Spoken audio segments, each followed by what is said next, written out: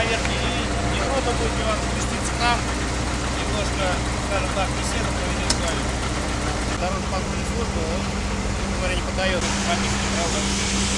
Если чувствуете, да, что какая-то наступает критическая ситуация, ну, грубо говоря, у времени нет, стали, не можете ехать, то, соответственно, нужно искать э, ближайшие места стоянок, останавливаться, как бы приводить себя в порядок, чтобы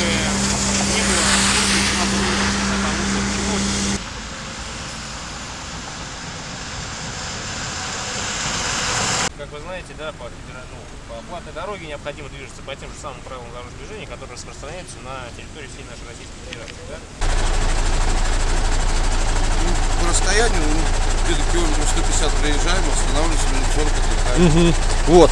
И вот как вы считаете, то, что вот такой на- норматив есть, он нормальный, хватает этого отдыха за рулем? Не хватает. А в график, когда вот едете в график, ну, у- у- у- успеваете уложиться, да? В этой структуре графика особо нету. То есть у нас такого графика нету.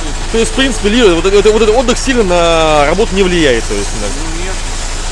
Всегда есть запас времени, стараемся ехать по времени. есть По своим возможностям, когда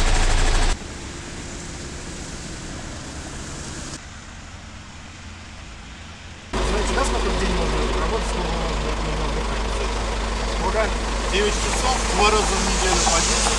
отдых часов.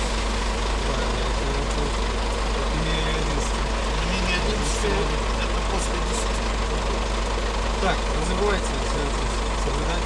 Да. Берегите на дорогах.